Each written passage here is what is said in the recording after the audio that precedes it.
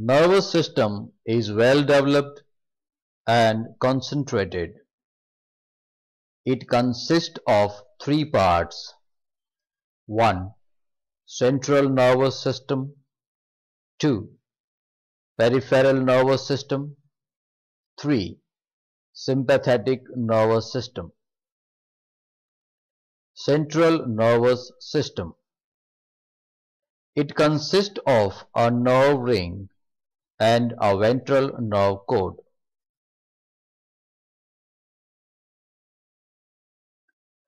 Nerve ring. It consists of paired cerebral ganglia, circumpharyngeal connectives, and subpharyngeal ganglia. A pair of closely attached pear-shaped suprapharyngeal ganglia forming the brain, which lie dorsally in depression between buccal cavity and pharynx in the third segment. A part of thick, stout circumpharyngeal connectives arise from them laterally. Taking up the pharynx and meeting ventrally in a pair of fused subpharyngeal ganglia lying beneath of the pharynx in fourth segment. In this way, a complete nerve ring is formed. Ventral nerve cord Ventral nerve cord arising from subpharyngeal ganglia runs backwards in midventral line to the posterior end of the body. In each segment, it presents a ganglion.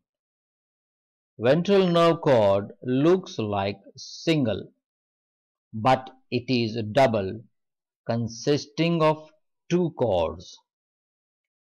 Each segment ganglion also stand for a pair of ganglia, one belonging to each cord of the double ventral nerve cord.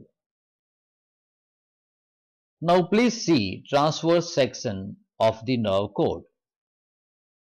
It consists of nerve fibers and nerve cells. Externally, the nerve cord is covered by a layer of visceral peritoneum, below which lies a thin layer of longitudinal muscle fibers surround a fibrous capsule of epineurium. Two such cores are visible in a section. These show the double nature of the cord. In the regions of segmental ganglia, two cores of nerve fibers are completely fused along the middle line. On the sides and below cores of nerve fibers lie the nerve cells. These are of two types. Dorsally four giant fibers, one median, one submedian and two lateral run through the mass of connective tissue along the length of the entire nerve cord. They are filled with a homogeneous plasma-like fluid which helps in their contractions. Peripheral nervous system Laterally 8 to 10 nerves arising from each cerebral ganglion which enters the prostomium and buccal chamber. Nerves from peripharyngeal connectives deliver the peristome